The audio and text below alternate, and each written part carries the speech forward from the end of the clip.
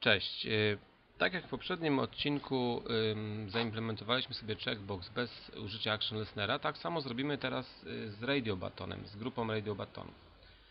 Y, Także w tej chwili zróbmy coś takiego. Nasz program, nasz program w tej chwili mm, oblicza temperaturę w stopniach Fahrenheita, jeżeli wpiszemy mu temperaturę w stopniach Celsjusza. Natomiast nie potrafi robić czegoś odwrotnego. Ja proponuję zrobić taką wersję naszego programu, że zrobimy tutaj dwa radio batony. Jeżeli jeden będzie zaznaczony, to będzie wykonywana konwersja z Celsjusza na Fahrenheita, a drugi, jeżeli będzie zaznaczony, Fahrenheita na Celsjusza. Ok, przystępujemy do dzieła. E, Checkboxy nam nie będą potrzebne, więc y, usuniemy sobie tutaj w tej chwili wszystko, co związane jest z checkboxami. Usuwamy całą sekcję dotyczącą checkboxów. Tutaj, tutaj też y, to sprawdzanie usuwamy. OK. Natomiast dodamy sobie radio button, czyli private J radio button. Nazwijmy go pierwszy RB e, C to F, czyli Celsjusz to Fahrenheit, a drugi RBF to C, czyli Fahrenheit to Celsjusz. Będziemy potrzebowali, aha, oczywiście im, importujemy, czyli najeżdżamy myszą na JRadio Button, importujemy. Yy, Będziemy potrzebowali jeszcze button group, czyli private button group, nazw weźmy sobie, nazwijmy radio panel. Ten button group to jest, yy, jest niezbędne, żeby dodać do niego wszystkie radio batony, żeby one działały na takiej zasadzie wykluczania się, czyli tylko, że jeden może być zaznaczony.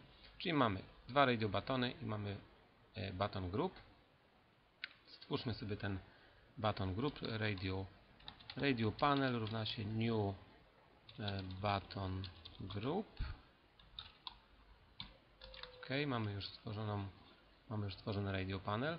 Teraz stworzymy dwa przyciski JRadio button RB C2F równa się new J e, radio button i w konstruktorze możemy sobie podać nazwę co się będzie wyświetlać. Celsius to Fahrenheit i drugi radio button F2 F2C równa się new J radio button Fahrenheit to Celsius. Dobra Radio batony dodamy do panelu. A, oczywiście musimy jeszcze ustawić ich set bounce, czyli ustawić wielkość i położenie. E, mm, skopiujemy sobie tutaj te wartości, tylko je troszkę zmienimy.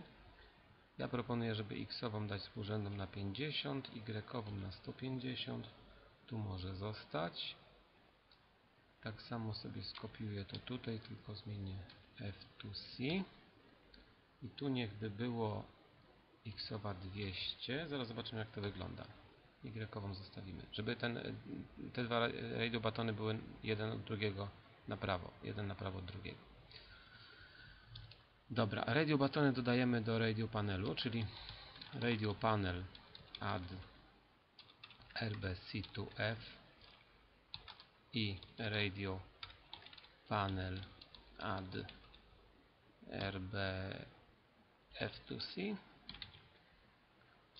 i dodajemy jeszcze je do ramki czyli RBC2F add RBC2F add RBF2C zobaczmy jak to w tej chwili wygląda. Ctrl F11 no jest ok, tylko możemy sobie naszą ramkę nieco rozszerzyć czyli w konstruktorze ramki set size dajemy tutaj 300 jak to wygląda? No ok. Dobrze by było, żeby jeden z tych radiobatonów był początkowo zaznaczony, żeby nie było tak, że oba są odznaczone. I, i zrobimy to w ten sposób, że ustawimy radiobaton C2F na set selected, czyli set selected true defaultowo będzie wciśnięty radio button Celsius tu Fahrenheit. Oczywiście one w tej chwili jeszcze nie działają, bo o ile konwersja z Celsjusza na Fahrenheita nam działa, to z Fahrenheita na Celsjusza nie działa. Cały czas tylko jest w jednym kierunku, cały czas jest tylko w jednym kierunku, prawda? Te- Te radiobatony jeszcze nie działają. Musimy sobie zaimplementować ich obsługę.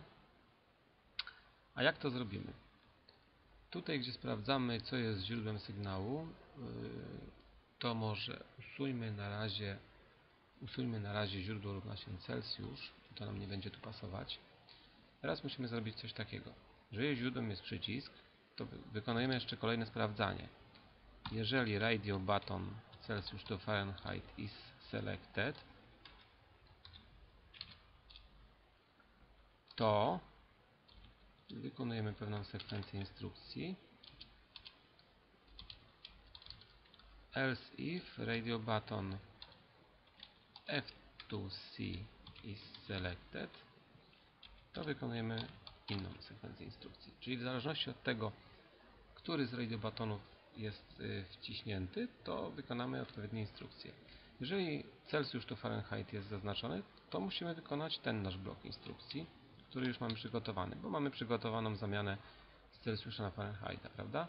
Temperaturę Celsjusza odczytujemy z pola T Celsjusz, temperaturę Fahrenheita liczymy z tego wzoru i temperaturę Fahrenheita wstawiamy do pola T Fahrenheit.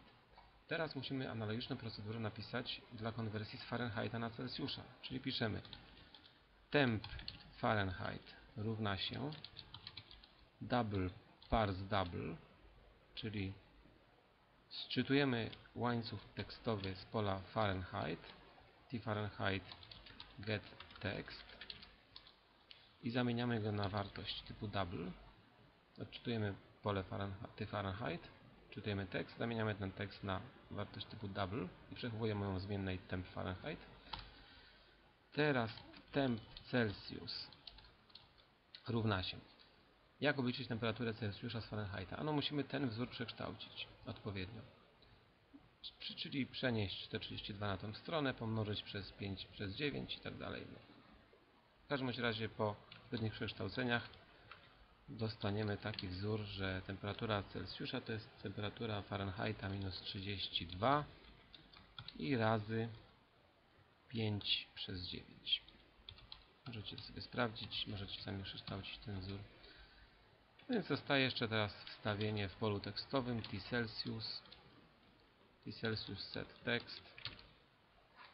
String value of temp Celsius. Czyli wstawiamy temperaturę obliczoną w Celsjuszach do pola tekstowego T Celsius. Ops. i zobaczmy jak to w tej chwili działa i czy działa w ogóle. Więc wiadomo, konwersja z Celsjusza na Fahrenheita to no, oczywiście działa. A spróbujmy teraz z Fahrenheita na Celsjusza, na przykład sobie jakieś 100 stopni dajmy 37 Fahrenheita. No ok. Czy, czy to jest ok? Jeżeli 100 stopni Fahrenheita 38 Celsjusza, to dajmy sobie tutaj na przykład 38 Celsjuszów i zamieńmy Fahrenheity. No jest 100,4, czyli Wydaje się, że, że powinno być ok. Możecie sobie to oczywiście posprawdzać, czy, czy to działa. Yy, jeszcze jedna sprawa, którą możemy zrobić, to dodać action listenery do tych pól tekstowych, żeby nam e, przy naciśnięciu Entera na, w polu Celsjusza zamieniała na Fahrenheita i naciśnięciu Entera na Fahrenheita zamieniała na Celsjusza. Możemy to bardzo szybciutko sobie zrobić.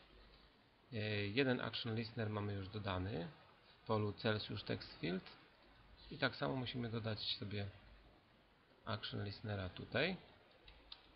Czyli piszemy t Fahrenheit add action listener this. I tutaj dodatkowe sprawdzanie warunku trzeba zrobić, prawda?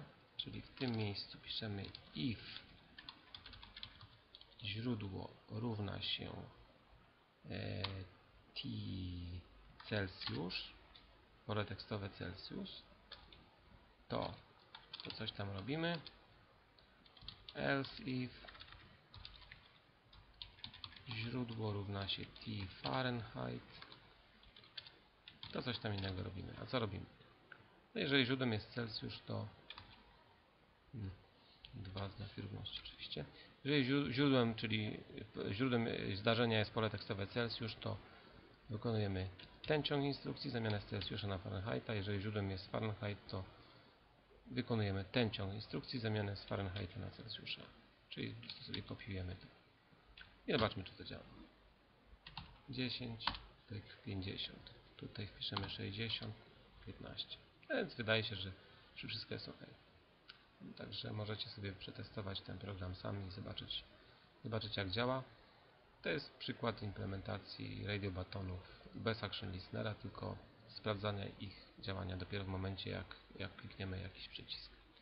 Dziękuję Wam za uwagę i jeżeli podoba Wam się wasz, mam mój kurs, to nie zapomnijcie go zasubskrybować.